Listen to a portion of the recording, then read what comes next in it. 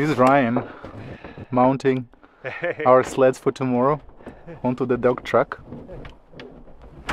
There is a lot of pieces. Yeah, I was I was saying earlier, always chores to do, be it cutting wood or hauling water jugs. Um, Do you ever relax? Lounge? I do, but Lisbeth and Nils, I don't think they do. I like to relax.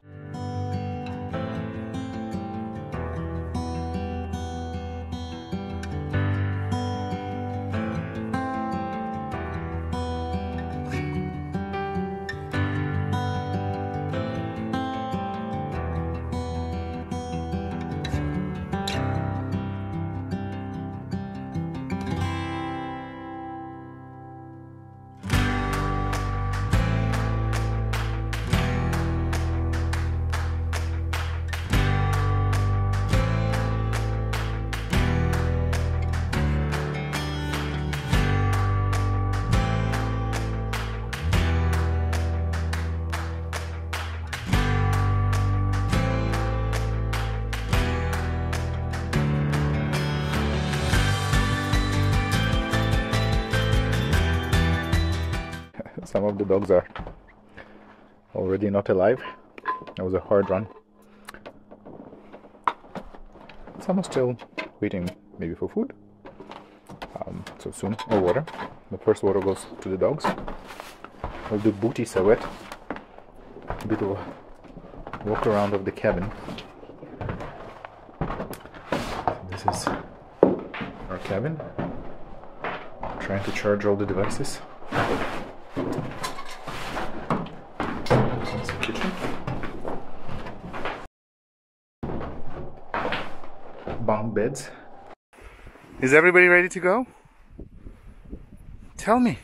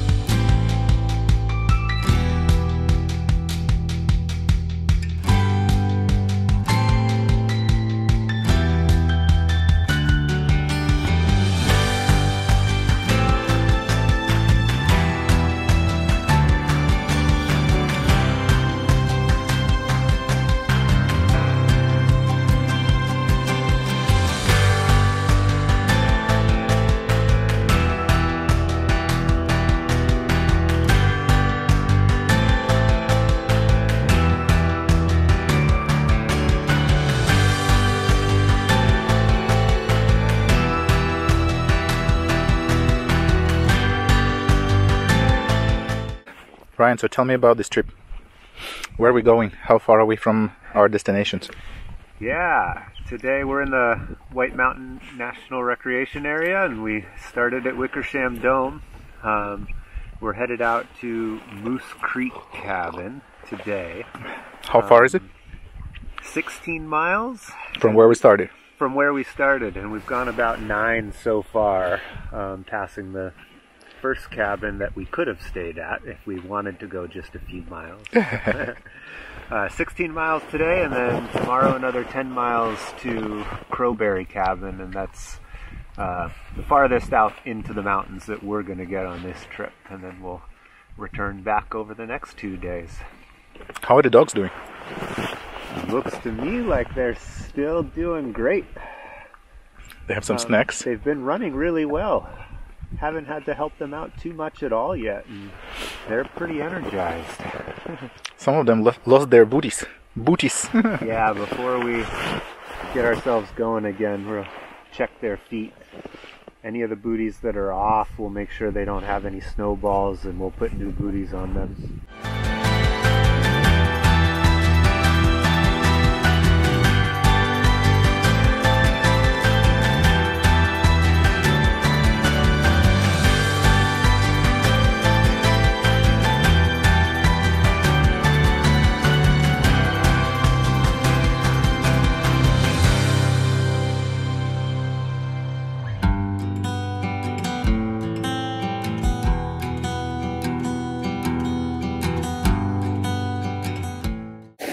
Today is a different kind of day.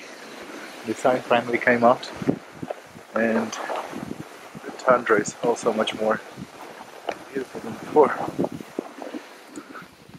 We came from over there. The sun is to my left.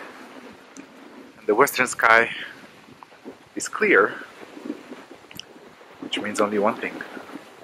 Tonight, we'll see the aurora. Hopefully, of course. A little bit of a walk around of the sled. So this is their quarters. That's where the musher lives. This here is called a drag brake, drag pad, and that's to slow down the pace. So for the most part, you end up standing here and controlling this. This is the brake. So sinks in. This is the I call it anchor. I don't know what the exact name. The rear one. This is a sled bag.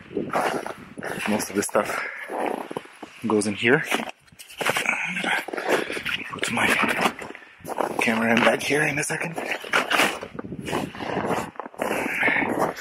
This is the main line.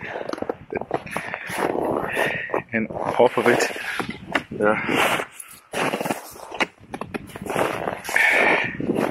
tag lines for each one of the dog. And this front anchor to keep the line taut while we harness dogs.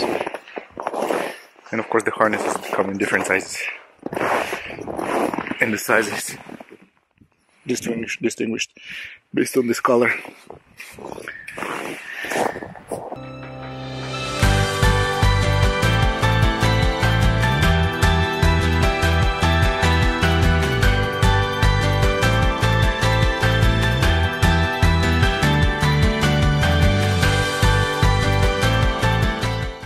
We're climbing uphill, so I changed just a sweater so I can kick.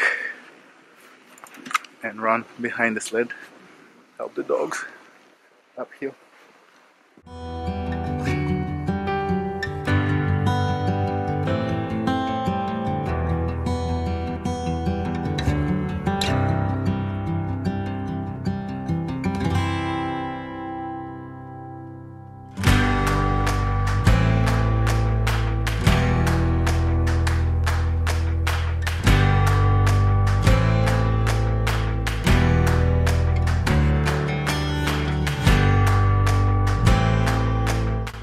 Four days hut to hut dog sledding expedition in White Mountains of Alaska was an amazing experience, one that I will cherish for the rest of my life.